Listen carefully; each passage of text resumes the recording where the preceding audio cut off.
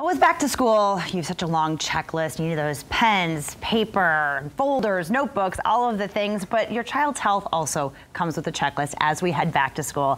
We've got Megan Rogers here. She heads up the Child Life Services at the University of Michigan Health West. Tips for us to get our child ready to, for school, which often means vaccinations we can make them a little less scary. Tell us how to do this. Absolutely. So our Child Life Services Department in part is helped funded by our University of Michigan Health West Foundation.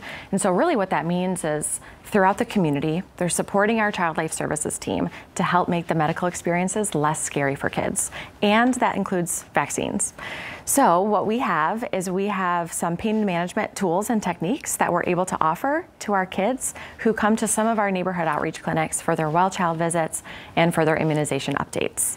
And this is amazing, this technology, you know, things, uh, that we didn't have when we were kids, you know. Um, tell us how this, this little contraption works. Yeah, it is a total game changer when it comes to vaccines for kids. A lot of adults still have needle phobia, and that's actually a big reason why parents are hesitant to, vaccine, to vaccinate their, their children now.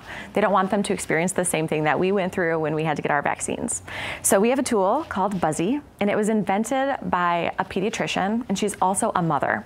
So she saw that kids were having a really hard time coping with needle sticks, and so she invented Buzzy, and it's a tool that vibrates and uses um, cold sensation to kind of help confuse the brain. It competes for the brain's attention away from that needle stick pain to help make pokes not feel so pokey.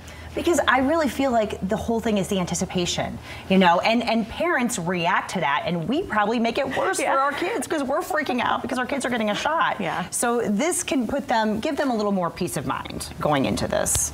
Yeah, right? absolutely.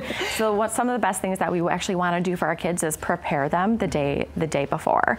Let them know what to expect. Having expectation of what's going to happen actually helps more accurately um, it helps kids understand more accurately about what's going to be happening to them. It also eliminates a lot of anxiety and fear about what could happen to me.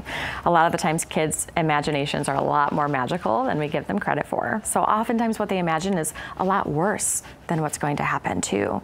So we should always let them know what they're going to be experiencing. So no surprises. Don't sneak up on them and give them a poke, which I feel like we would be able to relate to a lot too, is kind of that surprise pain. And be able to offer pain management tool and some distraction.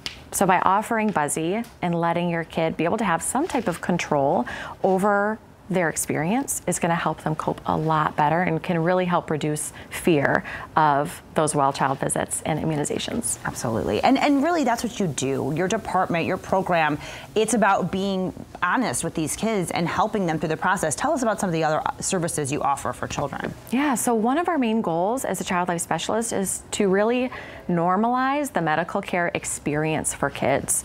We don't want these well child visits, sick visits, emergency room visits, surgery, chronic care appointments to have a negative impact on the coping skills and the normal development of kids. We don't want them to experience medical trauma because medicine is something that follows you through your adulthood and we want to really help minimize those fears. We also provide a lot of education and preparation for kids, again, so they know what to expect. We offer a lot of distraction and kind of ways to help their brain cognitively understand what's happening and how to distract and find an alternative focus when they're going through a procedure. Yeah, we also help with grief and bereavement situations. So families who are in our ICU or emergency room, um, or even when children are suffering a loss themselves, a loss of a limb, a loss of control, a loss of a family member. Um, so helping kids and families really navigate through that grief process as well. What a valuable service. And so what parents want to get Buzzy involved in, in their regular vaccination schedule, um, what do they need to know? What do they need to do?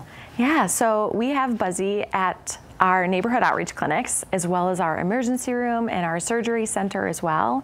And anytime a kid has to have a procedure done or have um, something that has a poke or pokey pain, they can ask for Buzzy. And what you do is you it looks like this, an adorable little bee. Um, and to go along with the name too, it has these ice pack wings that we keep in our freezers in our offices as well and in our different departments. And you place Buzzy between the brain and the pain. So if I'm gonna get a vaccine in my arm, what I'm gonna do is I'm gonna place Buzzy right on my arm, turn it on so it starts vibrating and helps confuse my brain. And then that poke will go right where the stinger will be. And all of our staff is trained to know that as well. Okay, perfect. Mm-hmm. What a great tool. Gosh, I do. Can we? Can adults get that too? Yeah, absolutely. I have been called into, into rooms where adults have such significant needle phobia, whether it's for a lumbar puncture or if they have to get like a shot of an antibiotic in their leg or in their backside or things like that too. And we do actually bring Buzzy out. Good to know that we can all use Buzzy's services. Yes. Sounds very good. Well, thank you so much, Megan, for being here. We really appreciate it. Thank you. Thanks for having me.